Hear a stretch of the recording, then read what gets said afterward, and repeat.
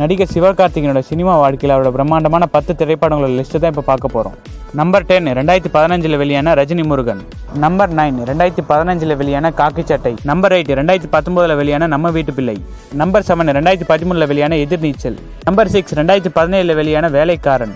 Number five ரெண்டாயிரத்தி பதினாறில் வெளியான ரெமோ. நம்பர் ஃபோர் ரெண்டாயிரத்தி பத்தொம்போதில் வெளியான ஹீரோ நம்பர் த்ரீ ரெண்டாயிரத்தி பதினெட்டில் வெளியான கனா. நம்பர் டூ ரெண்டாயிரத்தி இருபத்தொன்னில் வெளியான டாக்டர் நம்பர் ஒன் ரெண்டாயிரத்தி இருபத்தி ரெண்டில் வெளியான டான் இந்த லிஸ்ட்டில் வேறு ஏதாவது படத்தை மிஸ் பண்ணியிருந்தா கமலை சொல்லுங்கள் ஃப்ரெண்ட்ஸ்